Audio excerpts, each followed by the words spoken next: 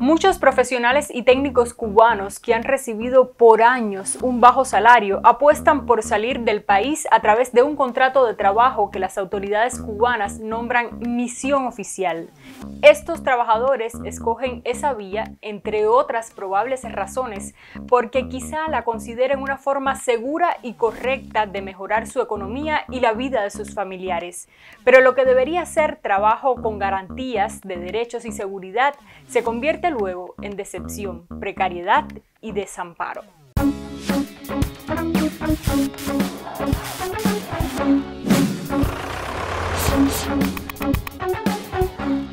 Mientras el discurso oficial presenta una imagen altruista e idealizada de las misiones cubanas en el exterior, la realidad difiere de la narración propagandística. Muchos de estos trabajadores la pasan realmente mal. Son vigilados, viven en condiciones precarias, no pueden mantener relaciones amorosas libremente y parte de los salarios no llega a sus manos o deben entregar una buena proporción. ¿Por qué un contrato laboral limita la libertad de movimiento, las relaciones personales y dicta normas de convivencia? En este video te lo contamos. En 2020, un cubano, padre de dos niñas y cuya identidad no revelaremos por las consecuencias que su denuncia podría traer para su familia, trabajaba y vivía albergado junto a un contingente de la construcción en Varadero, uno de los grandes polos turísticos de Cuba. Le ofrecieron un contrato laboral por dos o tres años en una isla caribeña de origen volcánico a unos 2.000 kilómetros de distancia de Cuba. Iba por acuerdo y gestión de la Unión de Empresas Constructoras Caribe, UNECA SA por sus siglas. El embajador un día me llamó para decirme que se había enterado, que yo tenía relación con una persona que, no pertenecía a la misión, que yo tenía que entender que ella era cubana, pero que ella era un tipo diferente de cubano. Cuando él me dijo eso, ya me encendía, yo, ah, este tipo se volvió loco. Y yo le dije, estas personas que yo también ah, me relaciono con ellos, no se meten en nada política, son personas súper correctas, no andan en borrachera, no nada, no es nada que me pueda afectar a mí en nada. Y por eso yo hasta ahora yo no entiendo por qué yo tenga que separarme de ellos. Entonces el tipo se molestó conmigo y me dijo, eh, misión tiene un reglamento, ni puedes salir de tu casa por la noche, ni nadie fuera de la misión puede salir de tu casa. Este, lamentablemente, no es un hecho aislado.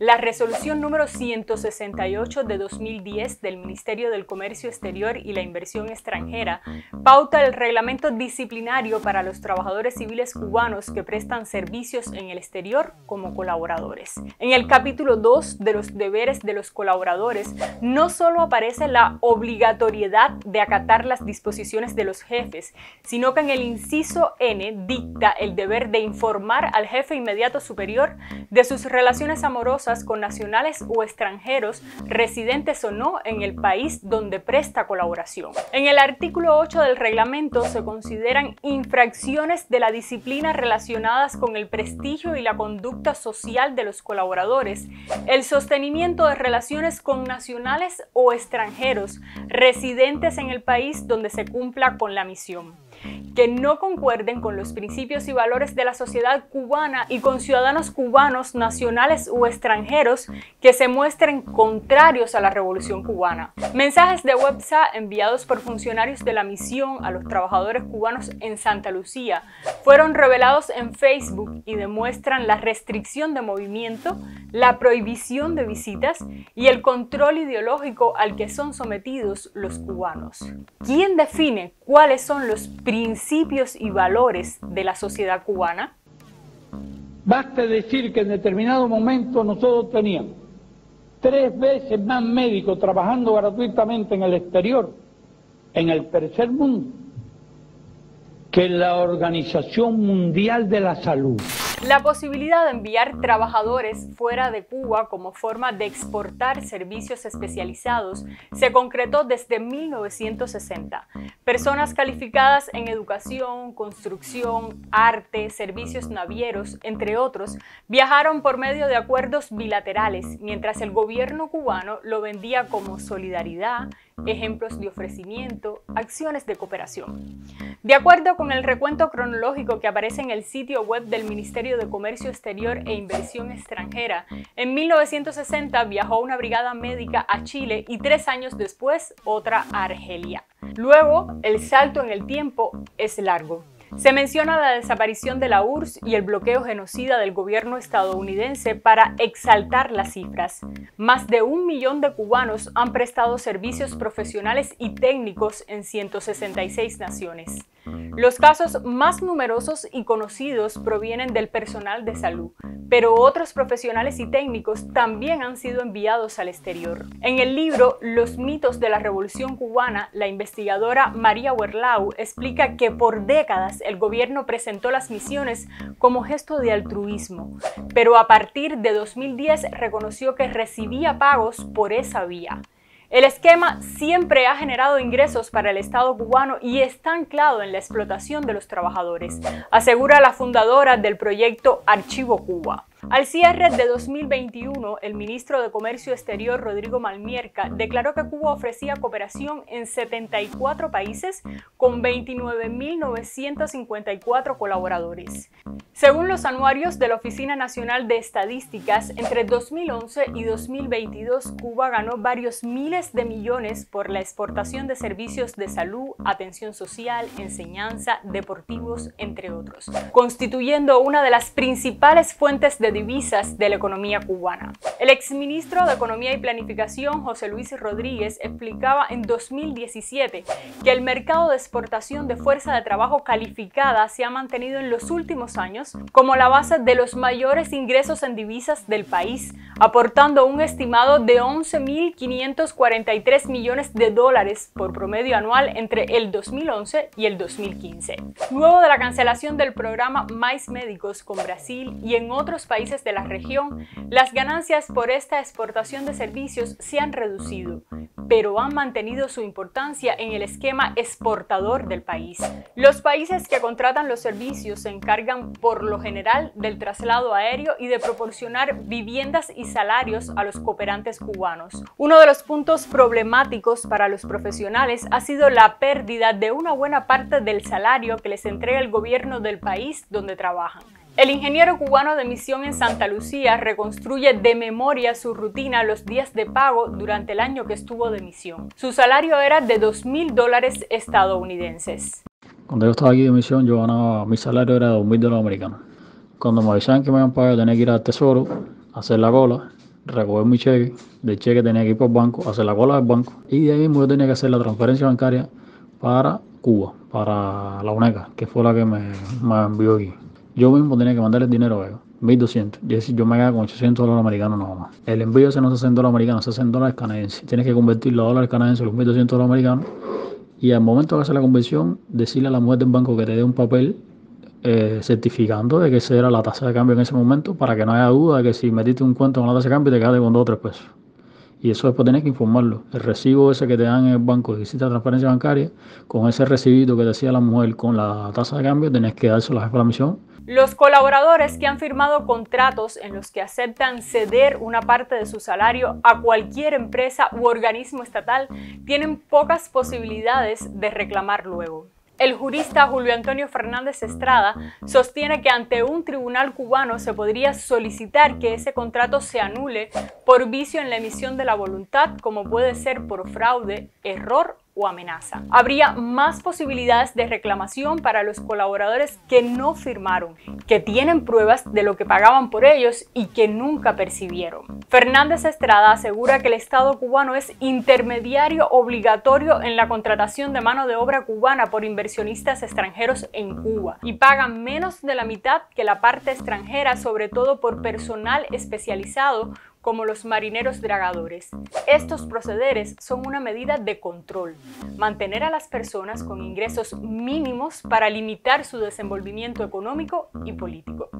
¿Con qué parte del salario se ha quedado el gobierno cubano en países como México? En México, eh, Andrés Manuel eh, pagó en, en 2020 por la pandemia por tres meses 10.750 dólares por cada uno de los médicos durante tres meses. A esos médicos les pagaron en realidad en el bolsillo 200 dólares al mes. Esto significa un 94% de diferencia que la mayor parte se la llevó evidentemente el gobierno cubano. No sabemos si alguien más, pero desde luego el gobierno cubano. El reglamento disciplinario para los colaboradores dicta entre los deberes la obligación de regresar a Cuba al concluir la misión en la fecha y por los medios de transportación que la entidad que los envió indique. Aunque el contrato haya terminado, la misión no concluye hasta que el colaborador esté de regreso en Cuba. El artículo 20 del reglamento señala como medida disciplinaria de mayor severidad la expulsión de la misión y el retorno No existe norma alguna que regule la prohibición de entrada al país a quien abandone una misión oficial durante los siguientes ocho años, como en efecto lo ha aplicado el gobierno cubano al margen de la ley. Al prohibir la entrada a Cuba de los nacionales que abandonen la misión o no deseen regresar a la isla, el gobierno ha creado una estrategia de estigmatización y descalificación. Desertores los llaman. El discurso oficial los construye marginados e indignos porque así los necesita para legitimar su castigo. Una investigación del toque en 2019 explica que a los médicos, deportistas, maestros, a cualquier profesional que haya rehusado volver en medio de un contrato de trabajo, se le acusa de traición y se le impide su regreso. Son los llamados inadmisibles.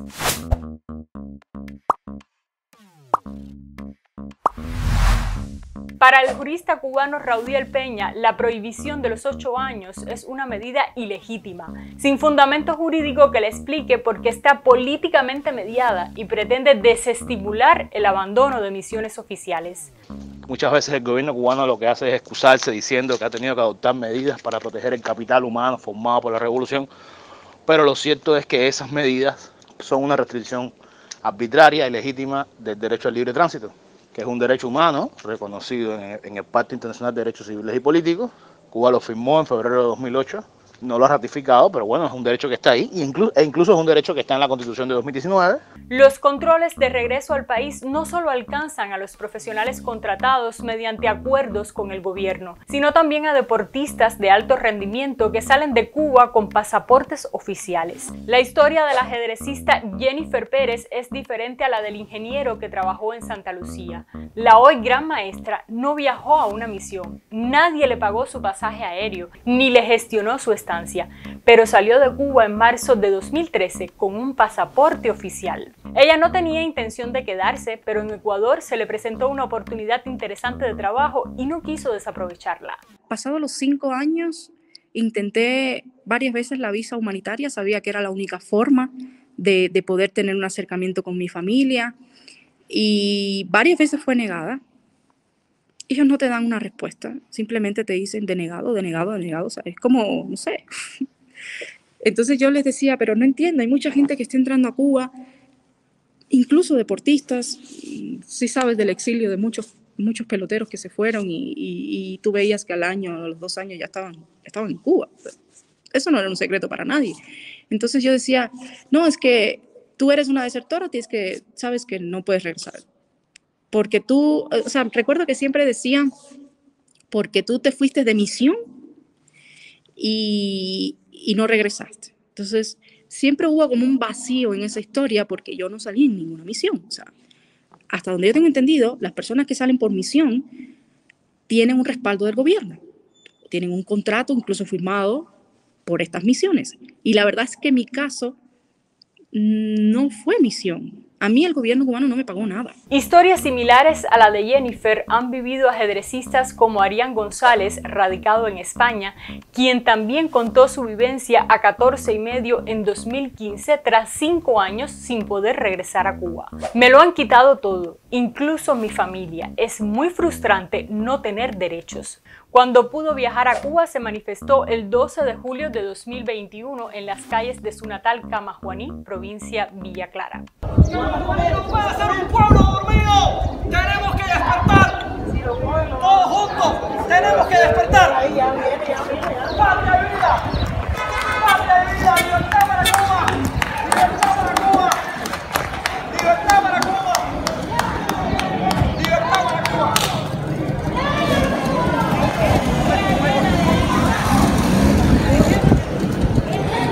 No la hagan, ¿eh? El pasaporte rojo y la condición de atleta de alto rendimiento son también herramientas de control. Cuba tuvo uno de los equipos más potentes del mundo en el ajedrez. Un recuento de la publicación Periodistas en Español relata que contaba en 2019 con 52 grandes maestros y en 2016 se cifraba en más de 160 los ajedrecistas cubanos con algún título internacional de FIDE, gran maestro, maestro internacional, maestro y candidato a maestro, que habían optado por el exilio. La mayoría, 86, eligió Estados Unidos. Actualmente, Leinier Domínguez Pérez es el cubano mejor posicionado en el ranking de FIDE y juega con la bandera de Estados Unidos. El gobierno cubano amenaza y limita a sus nacionales en el exterior con la posibilidad de que se reúnan o no con sus familias en Cuba. El 28 de octubre de 2017, el medio oficial Cuba Debate publicó cuatro nuevas medidas migratorias entre las que se enumeraban la eliminación de la llamada habilitación del pasaporte cubano, la autorización de entrada y salida de los ciudadanos cubanos residentes en el exterior en embarcaciones de recreo y el permiso de entrada a los ciudadanos cubanos que salieron ilegalmente del país, excepto los que lo hicieron por la base naval de Guantánamo. Al día siguiente, el medio de prensa aclaró el significado de las medidas que entrarían en vigor a partir de 2018. Se beneficiarían los cubanos que salieron de manera ilegal porque no tendrían que esperar ocho años para regresar a la isla excepto las personas que abandonaron misiones médicas, diplomáticas o delegaciones deportivas u otro tipo. En ese caso, sí se mantiene que no pueden regresar al país durante los ocho años siguientes a su salida.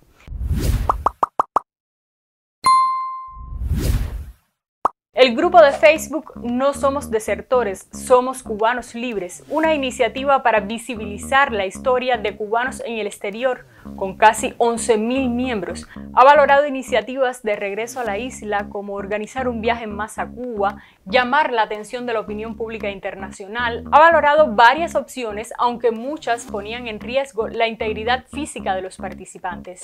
En enero de 2020, algunos miembros organizaron lo que el doctor Miguel González llamó Operación Regreso a Casa, que requería un registro virtual, pero la iniciativa fue cancelada por falta de voluntarios. Le antecedía el fiasco de una travesía en barco que se realizó en febrero de 2019. Alrededor de 200 ciudadanos que no podían volver a Cuba abordaron un crucero en Florida, Estados Unidos, sin intención de bajarse de la embarcación en Puerto Habanero.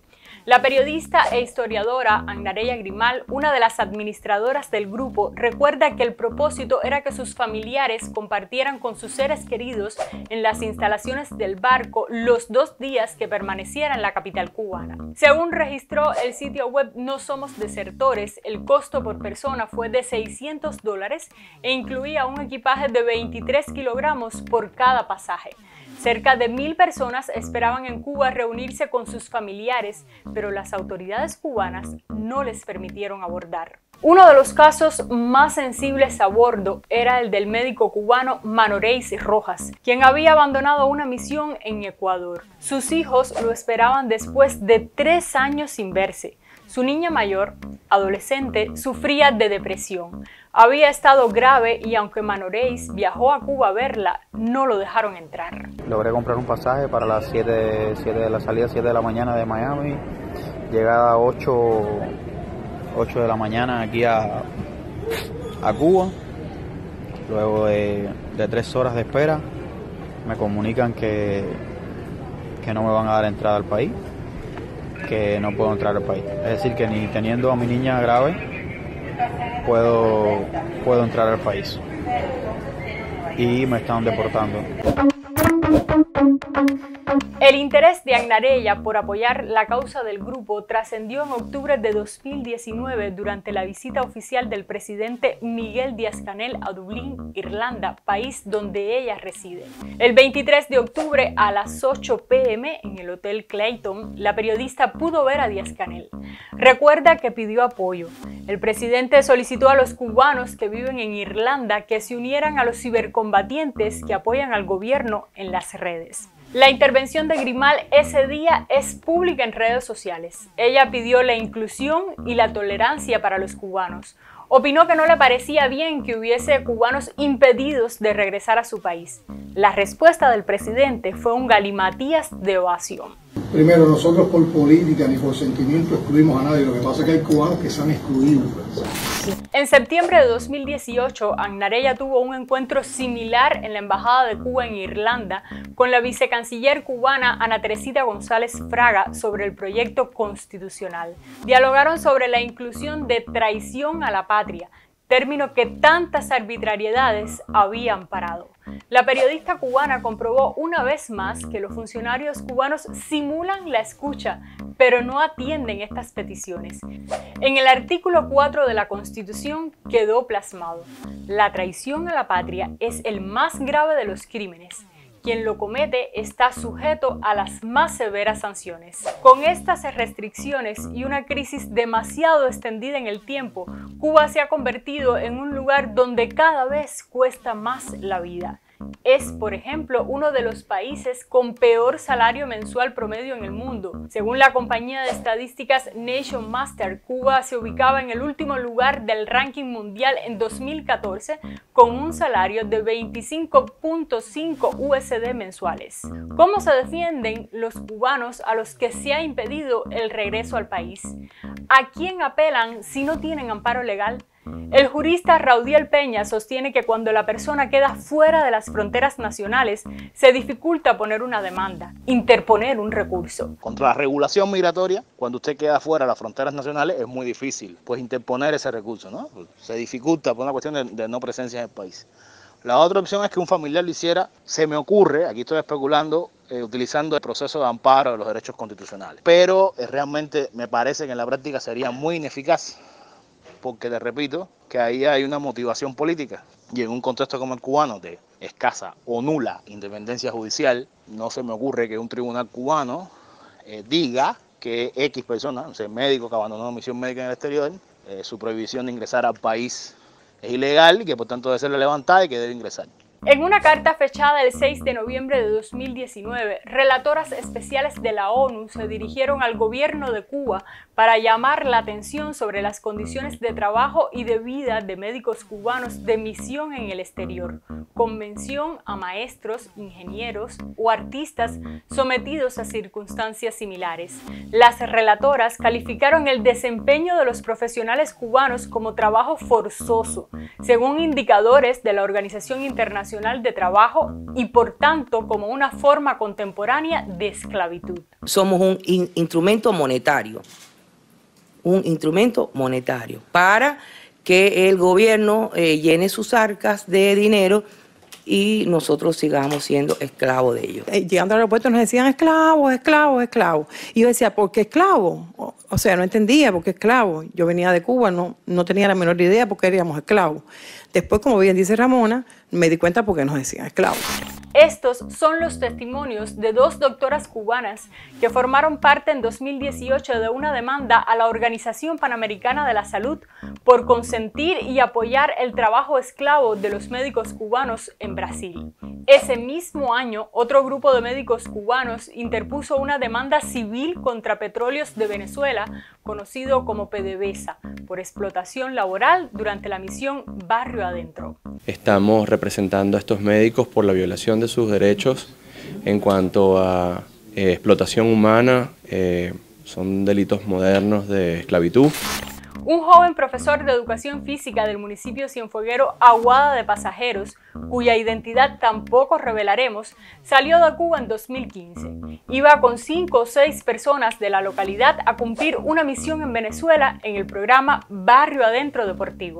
Antes de irse, un compañero le advirtió que llevara frijoles, ajo, cebolla, aceite, todo aquello que le sirviera para sostenerse. Él no entendía por qué. Tuve que llevar aseo personal, tuve que llevar alimentos que la verdad que se hacía un poco difícil a la hora de conseguirlo allá. David bastante mal, no tenía condiciones. Yo vivía en un cuarto que la, que la pared era una, como una sábana colgando así, no tenía ventilador la cama era uno de los spring esos que habían antes que se, se doblaba. Bastante mal, la verdad. Y, y, aquí en Venezuela nos pagaban un salario normal que nunca llegaba a tiempo. ¿Pero alcanzaba para vivir? No, hombre, no, para nada. En Venezuela existía una cosa que se llamaba mercal. El, el CDI que es como por los policlínicos de Cuba, estaba registrado ahí y te tocaba un mercal. Pero con ese mercal tú no, no te dejaba, no te daba para sustentarte ahí en mes entero, que tenía que estar yendo por otros lados con personas que tú conocieras y no me alcanzaba el salario, no, no, estaba pasando hambre. Los profesionales cubanos también han tenido que hacer trabajo político a favor del gobierno de los países a donde han ido. La presión por cumplir con esta otra función ajena a su rol profesional ha supuesto un peso para muchos de ellos. Mientras todo esto sucede en el exterior, el gobierno cubano desoye peticiones, penaliza la diferencia y abandona a sus profesionales. Deja fuera a una Cuba dolida por la distancia, desprovista de recursos para defenderse y cada vez más molesta ante la prohibición y el desamparo. Gracias por llegar hasta aquí. Te invitamos a seguirnos en nuestras redes y a suscribirte a YouTube. Si quieres apoyar nuestro trabajo, puedes regalarnos unas estrellas en Facebook o hacernos una donación a esta cuenta de PayPal. Y comparte, ayúdanos a circular la información. Nos vemos por ahí.